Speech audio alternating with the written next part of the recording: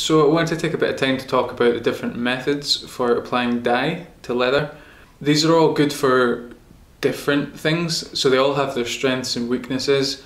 I don't really have a favourite out of these, I tend to use all of them.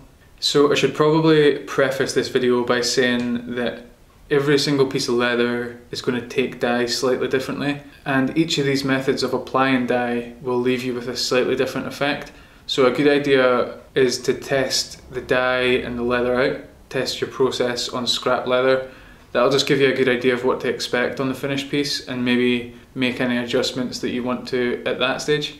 Okay, so the first method is to use a wool dauber. That's literally just a piece of sheep's wool attached to a a steel wire. These are pretty handy for dyeing smaller pieces and going around the edges and things like that. When you use a, wall, a wool dauber, particularly on the bigger pieces, you're left with kind of brush strokes almost. You can you can clearly see where the dye's gone. So if you are going to use a wool dauber on a big piece, you'll probably need a few coats to cover that up. So pay attention to what dye you're using. Again, this is why you would want to test it beforehand because some dyes don't actually darken however many coats you put on, they don't actually darken, but most will darken with each coat. So that's something you want to try out beforehand. Okay, and another method, which is a lot better for using on big pieces, is to use either a cloth or a sponge. You can just cover a lot more surface area with, with a cloth. It's a lot quicker and one coat of this will go further than one coat with the wool dauber. You know, you'll, you'll get it more even.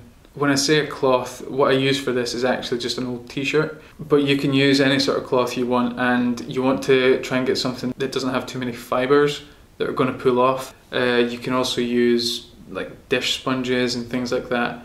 You actually get sponges which are designed for this exact purpose which work really well too. Okay, and the last method is something called dip dyeing. So just exactly as it sounds, you just completely submerge the leather in the dye before taking it out. This method for sure gets you the most even coat if that's what you're into. And it also helps if you've got a lot of pieces to dye. You can get a production line going pretty quickly.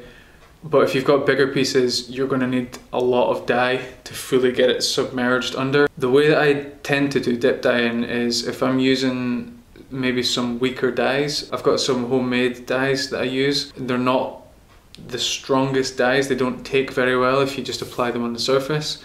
So submerging them and letting them soak in that dye, that's a good way to, to let the leather take on the dye and the longer you leave it, the darker it will get. That's just a lot easier than applying 10 coats of something of a weak dye. So whatever method you use, you're going to want to let the, the dye dry for maybe a few hours. You don't really need any more than that. Maybe if you're dip dyeing, with certain dyes it might take like five or six hours to completely dry but you, you really don't need to wait any more than that what I would suggest though is when the dye is dry there's going to be some residue left over, some of the pigment that sits on top of the leather. You want to go over that with just a clean dry cloth and just buff the leather. It's going to give a little bit of shine and it's also just going to take that, that pigment off which means that that's not going to transfer onto your clothes or anything like that over time. Okay, so go out and try a hand dyeing there. Let me know how you get on and if you need any help, just ask for it. Okay, bye.